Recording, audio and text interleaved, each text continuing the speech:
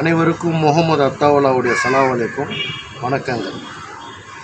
இப்போது சமீப காலமாக பார்த்தீங்கன்னா வந்து ராஜீவ் காந்தி கொலை வழக்கில் ஏழு பேர் பேரிவ பேரறிவாளனை இவங்க எல்லாரையும் வந்து விடுதலை செய்யணும்னு சொல்லி ரெண்டு கட்சியிலேருந்தும் வந்து பலத்த ஆதரவு கொடுத்துனது இது வந்து சுயநலமா இல்லை பொதுநலமா?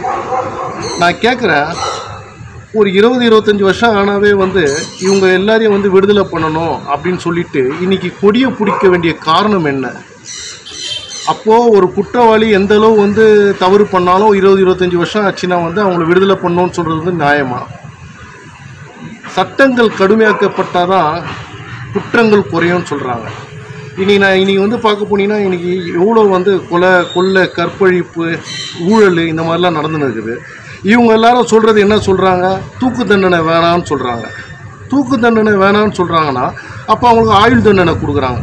ஆயுள் தண்டனை வந்ததுக்கப்புறம் என்ன பண்ணுறாங்க இருபது இருபத்தஞ்சி வருஷம் ஆனவுடனே இவங்களை விடுதலை பண்ணணும்னு சொல்கிறாங்க அப்போது இதுக்கு பின்னாடி வந்து அரசியல் சதி இருக்குதா? இது என்னுடைய தனிப்பட்ட கருத்து. ராஜீவ்காந்தி வந்து இறந்ததுக்கு வந்து அப்போ அந்த மேடையில் இருந்த போலீஸ்காரங்கள் பொதுமக்கள் அவங்களுக்கெல்லாம் வந்து யார் பதில் சொல்லுவாங்க? அவங்க ஆத்மா வந்து ச வந்து இந்த மாதிரி இவங்க இவ- இந்த மாதிரி வந்து விடுதலை பண்ணும்போது அவங்க ஆத்மா அதை ஏற்றுக்குமா நான் கேட்குறேன் உண்மையாலுமே ராஜீவ் கொலையாளிகள் வந்து விடுதலை பண்ணோன்னு இவங்களுக்கு என்ன இருந்தால் பாதிக்கப்பட்ட அந்த குடும்பங்கள்லேருந்து வந்து இவங்களை விடுவிக்குன்னு சொல்லுங்கள் இன்றைக்கி இட்டாலி குடும்பம் இருக்குது இல்லையா அவங்கள சொல்ல சொல்லுங்கள் ஆனால் அவங்க அதற்கு ஏ- வந்து ப- வந்து இலங்கையுடைய தமிழர்கள் எத்தனை பேர் வந்து பலி வாங்கினாங்கன்னு தெரியும் அது காரணம் வந்தாங்கன்னு தெரியும். அதை வந்து அவங்க பழி தீர்த்துக்கினாங்க. எனக்கு தெரிஞ்ச வரைக்கும் இந்த மாதிரி வந்து அரசியல்வாதிகளை வந்து ஒழிக்கணும்.